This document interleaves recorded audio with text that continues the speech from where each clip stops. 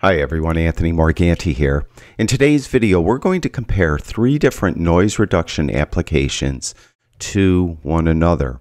The three different applications we're going to be comparing are Topaz Labs Denoise AI, DxO's Pure Raw 2, and ON1's No Noise AI. Which one is best?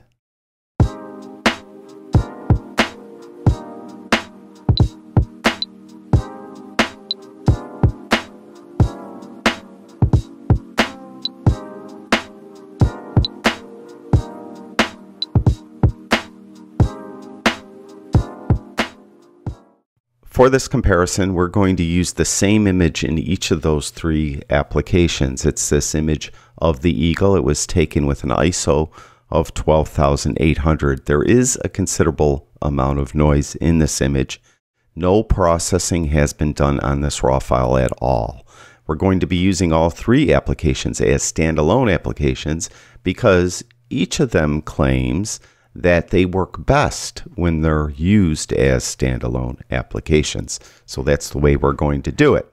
So I'm going to close this down and let's just pick one first. Let's do Denoise AI first. So I'm going to load that image of the eagle into this uh, application. It's right here. It's a Nikon RAW file and we'll open it up here. Now I'm going to move the navigation window over something a little more significant in the image the eye beak of the eagle, and we could see the background as well. Now, um, for those of you familiar with Denoise AI, you know that there are five different AI models, and I'm in what's called comparison view, where I could view four of those AI models at the same time. On the top left hand side, I have the standard AI model, and I have it set to auto. When it's set to auto, Denoise will look at the image and uh, move the remove noise slider and the enhance sharpness slider to um, the amounts that it feels would be best for this specific image. And as you look at the standard um, AI model on auto, you could see that there still is a bit of noise and there's still a little bit of color noise in there as well. So I'm going to go down here the post-processing section, which is not involved in any auto setting. And I'm going to take the color noise reduction. I'll move that up to like 30 and it re-renders and it's still a little bit of color noise there but not as much but there is a lot of luminance noise still. We'll go over to clear. I have clear set to auto as well and that looks to be better than standard on auto. Then in the lower left i have low light mode and low light mode um, isn't as good as clear in my opinion. There's still a tiny bit of noise uh, but um, it is better than standard. And then severe noise um, again, on auto, we'll do, again, move that color noise reduction because this one looks pretty good, actually. And um, between this one and clear look to be the best, although there seems to be a little bit more detail in severe noise. But there is a fifth AI model, and that is the raw AI model, and this is a raw file. So let's replace the standard model with the raw model. To do that, Make the standard model active by clicking on it. You can tell it's active because there's a little blue rectangle in the lower left hand corner and it's active over here. Just over here, just click on raw and it will swap out that standard model with the raw model. And actually that one looks really good. There's a lot of detail and there's really, it got rid of the color noise without color noise reduction being on at all. I will put it on nonetheless to the same setting I had the other ones on 30. And I think actually that is the best. Now, typically what I would do then is I would go to a single view mode with this raw now because I determined with all five AI models set to auto that trying to compare apples to apples, all set on auto, that the raw uh, AI model was the best of the five. Then what I would do is I would go to single view mode like I am now, and I tweak it from here. If it needs a little bit more noise reduction, I'll move the remove noise slider to the right. If I want to enhance sharpness a little more, I'll move that to the right. Uh, also, I'd come down here and move these two sliders as well. But I think right out of the box on auto that this is good. So I'm going to save it. So I'm going to click save. And it says uh, denoise in the name here, so that's good. So I could use it to compare to the other ones. Now I'm going to save it and I'm going to save it to a specific directory. Uh, the reason being is I have my Lightroom set up so that it constantly looks at a specific folder on my computer and will automatically import images that are in that folder. So all I need to do is put this image in that folder and Lightroom will automatically import it into um, into uh, Lightroom. So um, that that way we could um, then compare them all to one another. That folder I have set up is called Auto Imports. I do have a Lightroom video demoing how to set up an auto import folder in Lightroom. Uh, you could look that up if you're interested in this. So we're going to put that in this auto imports folder and we're saving it as a Denoise AI raw file and click save. Okay, so now it's applying those um, settings to that image and it will save it to that folder. And the next time I open Lightroom up, Lightroom will just automatically import it. I won't have to do anything with it. So we are done with Denoise AI. Let's close that down. And let's do another one. Let's go to ON1's No Noise AI and we'll open that same exact raw file into it. So I'll go to the desktop. It's right there. Open it up. And this is a little simpler and easier to use than ON1's or than Topaz Labs Denoise AI. Uh, there aren't different models. It really just has a few sliders and the image. And we could see that we have this split view. So I could go and there's before after, and you can see it's applying a, it's also applying a, um, a lens correction to it as well.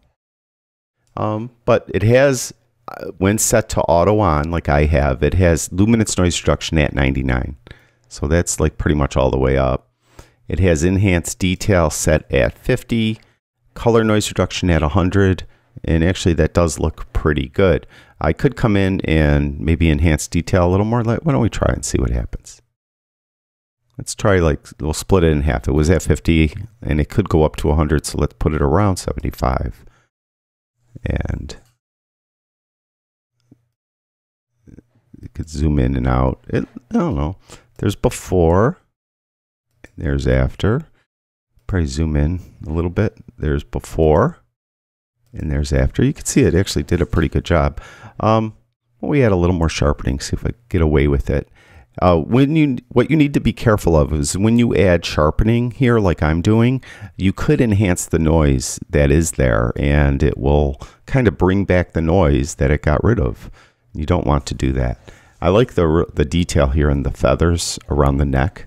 So I really like that. And I think this is good. So you can see that um, ON1's No Noise AI is considerably easier to use than Topaz Labs Denoise AI, although Denoise AI gives you a lot of different AI models. Um, and those AI models uh, could come in handy down the road, right? So, um, all right, so we're not going to save it as a PSD. I want to save it as a DNG. Uh, so I'm going to preserve the raw format. And again, I'm going to save this uh, to that auto imports folder right here.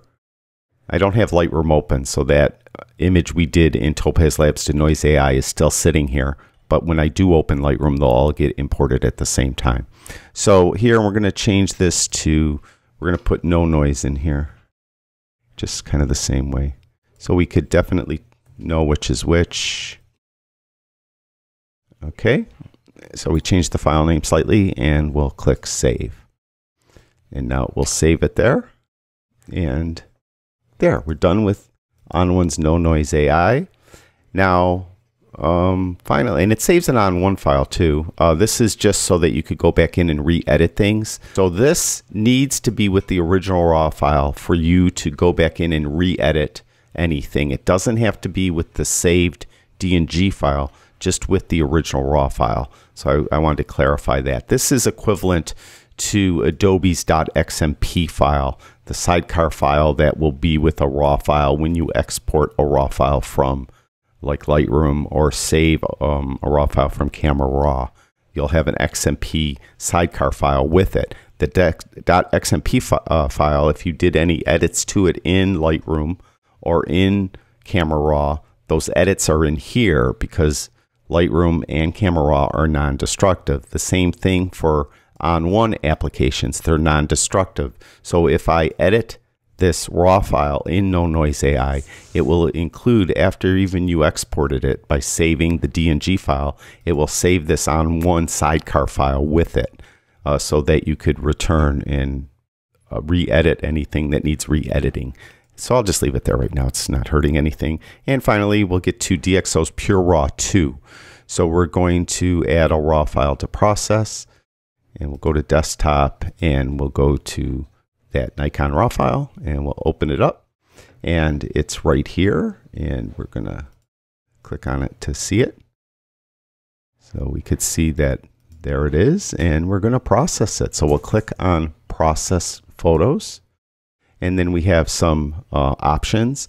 As far as raw processing, because it is a raw file, I am able to use Deep Prime, with which is the best of the three different methods. Uh, if this was a TIFF, PSD, or JPEG, I would not be able to use Deep Prime. Uh, so that be in in order to compare all three of these applications to one another, I specifically wanted to use a raw file so that we could use the best noise reduction available in DxO's Pure Raw 2, and that is Deep Prime. Um, DxO optical corrections, and we're going to stay with that. We're going to output it again as a DNG. I want to keep that um, raw for format, you know, throughout the workflow. We're going to save it to a custom folder. And again, I'll save it to that auto imports folder,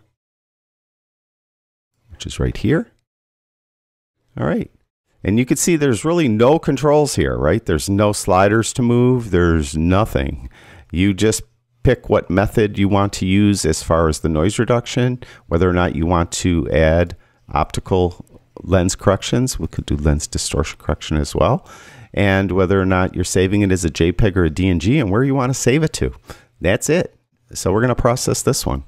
So this of the three is the easiest to use. Uh, obviously, you just kind of load it in there and uh, pick how you want to save it and where you want to save it to. And then you're done. Okay, uh, processing is done. Now, uh, go, we'll just close this down. It's asking me if I could go to Finder and we could look at the folder it's in. I could view the results. We'll save that when we look at all three, or I could export it another time. So we'll just close that down. We'll get rid of this. So we're done with Pure Raw 2. Now we need to compare them. Notice there's no sidecar file for that. All right, now we'll go open up Lightroom. And I have Lightroom set up, so I'm in that folder already. So it'll just take a second once it initializes. You'll see that this auto import photos will start repopulating and it will, uh, you know, once it finds them and it will show these three images. There's one and there is the other two. Now, one thing I'm going to do uh, very quickly, let me uh, minimize that. Let me uh, put the original raw file in there as well. So we'll get that original raw file and we'll be able to compare them to the original raw file and you'll see in a second it will disappear out of this folder because it just got auto imported. Okay, let's organize these down in the film strip. The first one is the original raw file. The second one, the one right to the right, is the DxO's Pure Raw. The one to the right of that is the no noise uh, image. And the one to the right of that is the Denoise AI image. Now, um, what we're going to do is I'm going to zoom in. Let's go over the develop module. And I'm going to hold the command key in on my Mac, control key on a PC, and we'll zoom in to this kind of part of the image, like right there, right? So we could zoom in. There's the original raw file. There is uh, DxO's Deep Prime version. It's pure raw 2. And one thing I need to do is I need to go up to view and I got to lock my zoom position. Then we'll go to the one next to it, which is the no noise AI. You can see that one's a little more uh, dim. There was some more processing done in the D Prime no noise or D Prime, I'm sorry, Deep Prime's uh, version of the image that is the pure raw or was that called? I'm losing track of what these called. Pure Raw 2. Yeah, okay, there we go. Okay, back. This is the no noise one. And then next to that is the denoise AI.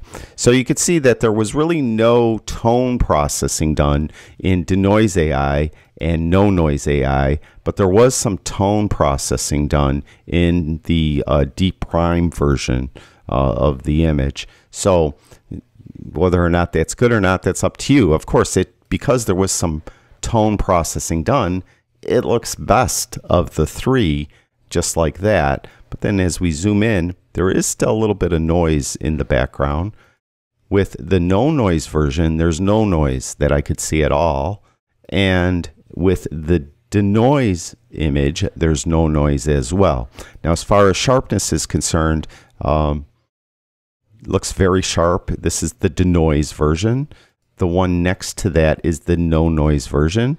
That one is a little brighter and it, there it looks very very sharp and the deep prime version is very sharp as well. So they're all very equal uh, in many ways. Um, let me try to zoom in even more. Okay, this is the deep prime version. All right, you see the noise I'm talking about? Now let's go to the no noise. And you can see there there's still kind of a little more noise there. Not like it's different though. It's more kind of a pixelated noise compared to the um, deep prime version, the pure raw 2 version. And if we go over to denoise AI, there's really no noise at all. Maybe a little bit uh, down in here at this edge of the eagle's beak. But I mean, I am zoomed way in and we're really looking at it. The white feathers over here have some noise in the denoise version. The no noise version, there really is no noise on the feathers, but there is maybe like in that transition area similar to denoise AI. And Pure Raw 2 just has more noise in it generally uh, but still acceptable. And it, it did do some tone, tone processing as well. So out of the box, it kind of looks best just because of that processing. Um, but of the three, I mean, they're all acceptable and all equal. And you're definitely going to process all three of them from this point forward anyway. So it doesn't matter that no noise and denoise didn't really do much with tone at all. One thing I have noticed in general, when I use no noise AI, the image tends to be brighter. Um, like there's the original raw file. So it will tend to be a little bit um, brighter than if I use denoise AI, uh, just comparing those two to one another. So this one tends to always be a little brighter, no noise AI, a little brighter than denoise AI. Uh, then, um, as I mentioned, the Pure Raw 2 deep prime versions tend to be a little more processed all the time. And then again, there is the original raw file. So one more time, there's the original raw file. There's um, Pure Raw 2, the deep prime version. There is no noise AI, and there is denoise AI. You could say it's six of, six of one, half a dozen of the other, as my father used to say they're all very, very good. I mean, just five years ago, we didn't have this advanced noise reduction. So um, we now could shoot at extremely high ISOs and get away with it nowadays uh, because any one of these three applications do a great job. I will have links in the description below this video. All of them have fully working free trials. I do have discount codes for a couple of them, No Noise AI and Denoise AI. And I have a discount code for the Pure Raw 2, but it's not working from what I understand. And I've emailed them and they haven't answered me. So I guess it doesn't work. Um, so that's it. Thank you, everyone who watches my videos. I really do appreciate it. I'll talk to you guys soon.